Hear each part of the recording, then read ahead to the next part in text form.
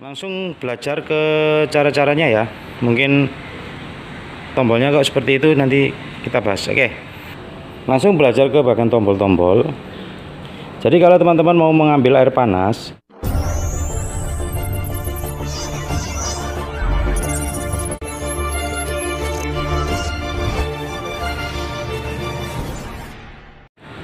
Bismillahirrahmanirrahim Assalamualaikum warahmatullahi wabarakatuh teman eh, bertemu pas bertemu lagi ya. Pastinya tetap di channel BDA Elektro channel review dan unboxing elektronik. Oke kali ini kita akan unboxing dan review lagi dispenser galon bawah lagi. Kali ini dari Modena ya. Sem yang kemarin sempat dibuka dari Artugo. Ini dari Modena lagi dengan serisnya Modena DD7170S ya jadi untuk packingnya kalau Modena mungkin standar sudah seperti ini ya. Jadi untuk warna karton label sama ininya di sini semua. Oke. Untuk unitnya sendiri teman bisa cek. Mewah banget teman. Jadi di sini dia menggunakan tidak ada tombol kran ataupun yang kelihatan ya. Jadi di sini nanti tombolnya cuman tombol digital di atasnya. Jadi untuk tampilan dari depan lampu di tengah nanti dia ada lampu merah sama biru. Dan untuk kombinasinya dia menggunakan stainless mulai dari atas bawahnya keran untuk pintu penutup galon dia full stainless dengan kombinasi hitam. Merata sampai samping kanan kirinya ya. Jadi itu samping kanan kiri dia kombinasi warna hitam depan stainless. Oke jadi kita langsung cek untuk bagian atas. Jadi tidak ada keran tombol atau safety ataupun apa tapi di sini benar-benar aman untuk anak kecil jadi anak kecil pun juga tidak bisa langsung bisa main pencet ya. Kalau misalnya kita main pencet pun dia tidak keluar nanti. Ya oke untuk ini seperti agak oval tidak transparan. Nah di sini untuk body rata untuk sirkulasinya dia cuma dari belakang di sini tertutup full ya. Kelebihannya di sini. Ya. Dan untuk bagian belakang ini yang kelebihan dari Modena untuk sistem pendingin ataupun panas dia otomatis dari tombol depan. Makanya dia ekstra cepet ya. Yang di belakang ini dia sistem pompa mungkin kalau tidak salah dan sama ada tambahan untuk pengaman sekring. Jadi kalau misalnya ada rusak cek di sini aja. Misalnya nggak panas atau nggak dingin bisa dicek di sini. Oke untuk sirkulasi panas dari mesin itu dilewatkan dari belakang dan di samping sudah menggunakan body full rata. Jadi benar-benar istimewa banget untuk tampilan dari depan ataupun yang lain ya.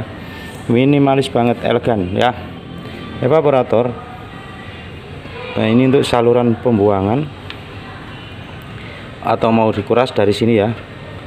Jadi teman-teman sesuai petunjuk yang sempat saya di review-review yang sebelumnya. Jadi kalau pertama kali pakai itu teman-teman isi air. Jadi jangan langsung di fullkan dulu untuk tandonnya sini ya. Jadi seperempat aja kira-kira 5 menit sampai 10 menit isi. Setelah itu matikan cabut ini dikeluarin ya dibuang. Jadi jangan sampai dicolokin. Kalau cilikin dia ngisi terus lagi. Dicolok colokannya dicabut ini buka air biar keluar dulu. Setelah habis baru teman-teman tutup baru dinyalakan. Normal ya. Oke evaporator. Rapi banget teman ya untuk barang kalau barang kelihatan barang bagus ini seneng banget saya membukanya itu. Saya reviewnya itu bener-bener seneng banget. Ya. Oke. Standarnya memang beda beda ya kalau untuk standar-standar yang pakai. Oke jadi kita cek. Nah ini. Di sini nanti untuk logo Modena di sini ada lampu nanti nyala stainless. Di sini agak-agak cekungan ya jadi nggak rata. Jadi kerannya satu tetap. Jadi kita cek bagian bawahnya untuk tempat galon. Ya. Itu pintu ya memang murni sih bahan logam ya. Jadi stainless dan kombinasi dari sininya tempat bawahnya keran. Ada kayak pak kontrol jadi bisa naik pelampung. Nanti kalau udah naik berarti banyakkan air di sini. Perlu diambil ya. Modelnya ini teman. Bener-bener keren kalau saya lihat.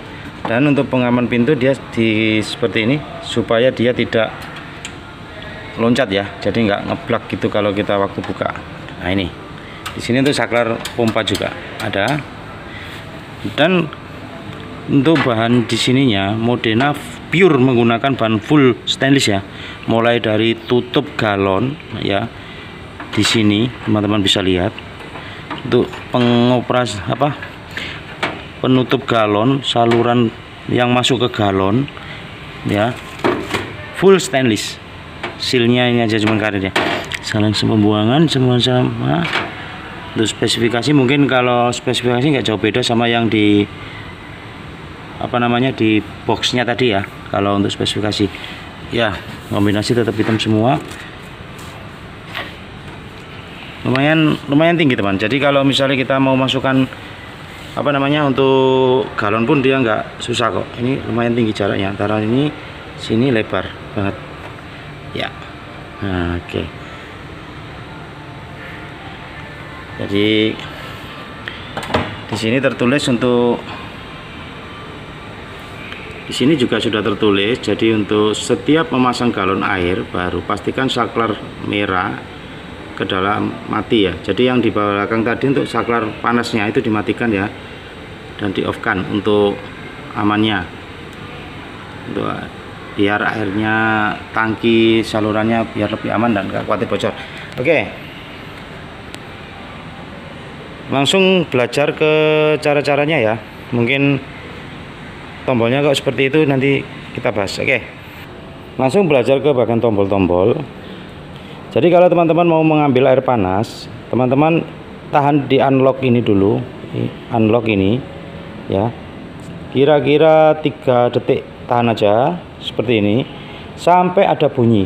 Setelah bunyi baru teman-teman tekan ini. Tapi jangan lupa gelas ditaruh bawah dulu ya baru tekan ini. Jadi ini tiga detik jadi mau ngambil ya ke sana sebelumnya mau ngambil gelas taruh sini tekan ini tiga detik bunyi didit ataupun apa kodenya nanti baru tekan ini tahan ini. Dan dilihat sampai posisi gelasnya tadi full ataupun mungkin kira-kira sudah cukup teman-teman lepas. Dia udah mati nanti. Sama. Jadi untuk yang cool juga gitu. Tekan ini dulu. Ya tiga detik bunyi didit baru tekan ini ya setelah dirasa cukup teman-teman lepas dan ini tekan tek. Dah uji lagi nanti. Khusus untuk yang normal ini tidak perlu tekan ini. Jadi langsung tekan ini dia udah langsung keluar nanti. Beda sama yang panas sama dingin untuk normal dia tekan langsung aja. Jadi nggak perlu tekan ini dulu. Kalau yang untuk panas sama merah baru tekan ini dulu. Oke ya mungkin dari sini ada yang kurang jelas mungkin ada pertanyaan atau yang lain silakan. Mungkin ada kurang jelas atau gimana dari penjelasan saya? Silakan ya. Oke Bertemu lagi pastinya di videoku selanjutnya dan review singkat saya untuk dispenser Modena DD7170S. Ada pertanyaan lebih lanjut ya seperti biasa dan jangan lupa terus dukung dengan tombol subscribe-nya ditekan ya teman-teman. Nah, untuk tombol subscribe kan gratis ya, tekan aja dan aktifin notifikasi loncengnya biar update video terbaru terus dari BD Elektro. Oke, sampai jumpa. Semoga bermanfaat. Terima kasih. Wassalamualaikum warahmatullahi wabarakatuh. Salam. Ciao.